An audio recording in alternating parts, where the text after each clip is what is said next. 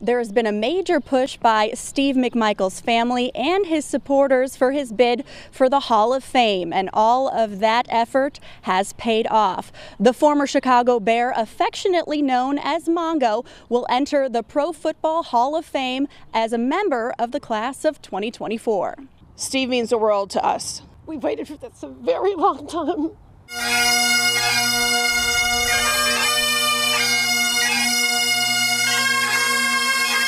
I mean, he's just got a heart of gold. I love the guy. The Emerald Society performing in Steve McMichael's backyard on Friday.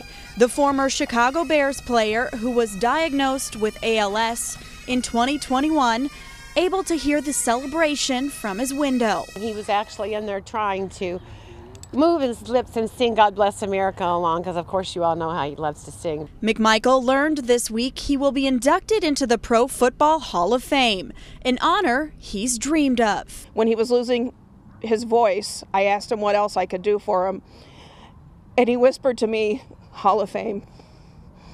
I went home looked it up. How can I do this? I love a challenge, and here we are. His enthusiastic fan base, known as Team Mongo, petitioned for his induction, even conducting a letter writing campaign. Today, his close friends and family say those fans are a huge reason this finally happened.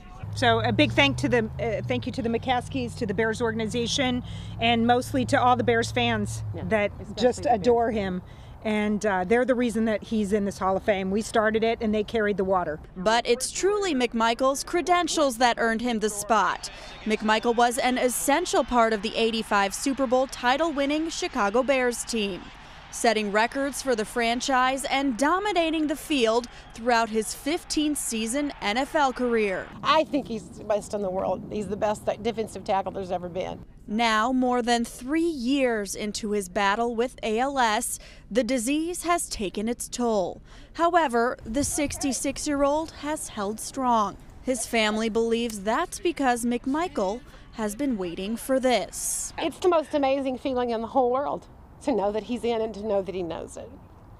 McMichael's family members say they are hopeful that he will be able to attend the induction ceremony in Canton, Ohio in August. In Homer Glen, Alyssa Donovan, WGN News.